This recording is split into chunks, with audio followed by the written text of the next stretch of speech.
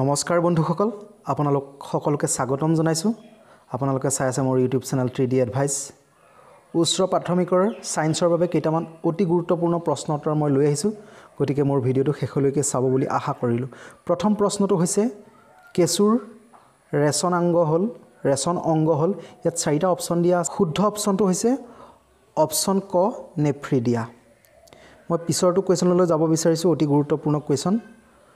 জোকৰ লালটিত থকা তেজ আতঞ্চৰোধী পদাৰ্থবিধ হ'ল অৰ্থাৎ এণ্টি কোৱাগুলেট ছাবষ্টেঞ্চৰ নাম সুধিছে। ইয়াত চাৰিটা অপশ্যন দিয়া আছে। শুদ্ধ অপশ্যনটো হৈছে অপশ্যন খ হিৰোডিন। মই পিছৰটো কুৱেশ্যনলৈ যাব বিচাৰিছোঁ। প্ৰাণী জগতৰ আটাইতকৈ অধিক সংখ্যক প্ৰজাতি থকা পৰ্বতটো কি? ইয়াত চাৰিটা অপশ্যন দিয়া আছে। শুদ্ধ অপশ্যনটো হৈছে সন্ধিপদী।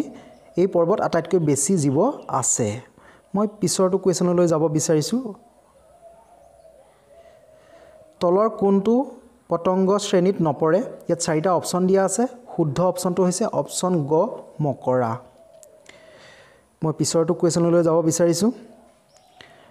কোনটো জোৰ ভুলকৈ লিখা আছে? ইয়াত চাৰিটা অপশ্যন দিয়া আছে। ইয়াত শুদ্ধ অপশ্যনটো হৈছে অপশ্যন গ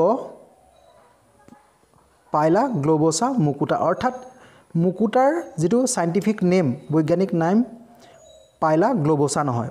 পাইলা গ্ল'বছাটোৰ এটা শামুকৰ বৈজ্ঞানিক নাম মনত ৰাখিব। মই পিছৰটো কুৱেশ্যনলৈ যাব বিচাৰিছোঁ। কেৱল সাগৰীয় পানীতহে বাস কৰা প্ৰাণীৰ পৰ্বটো হৈছে চাৰিটা অপশ্যন দিয়া আছে। শুদ্ধ অপশ্যনটো হৈছে অপশ্যন গ কণ্টক চৰ্মী প্ৰাণী। কুৱেশ্যনকেইটা অতি সহজ তথাপিও এনেকুৱা ধৰণৰ কুৱেশ্যন অহা দেখা যায়।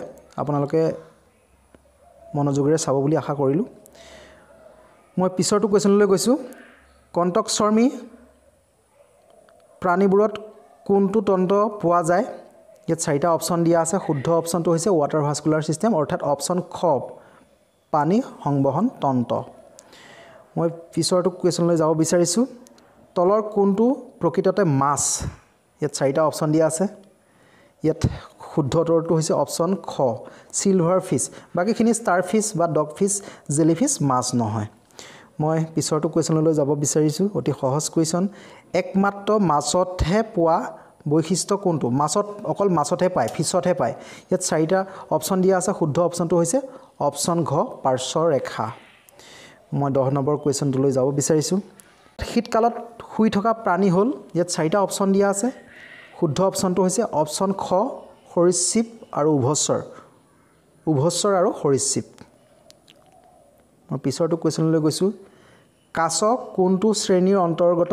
ইয়াত চাৰিটা অপশ্যন দিয়া আছে। শুদ্ধ অপশ্যনটো হৈছে অপশ্যন গ সৰীসৃপ।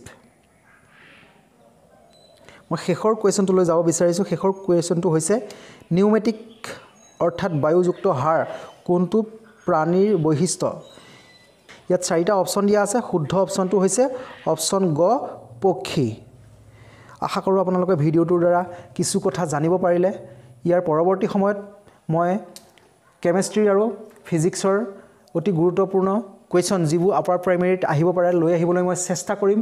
যদি আপোনালোকৰ মোৰ ভিডিঅ'টো চাই ভাল লাগিল তেতিয়াহ'লে লাইক কৰিব কমেণ্ট কৰিব শ্বেয়াৰ কৰিব আৰু মোৰ চেনেলটিলৈ যদি আপোনালোক নতুনকৈ আহিছে তেতিয়াহ'লে মোৰ চেনেলটি ছাবস্ক্ৰাইব কৰি থ'ব। ধন্যবাদ।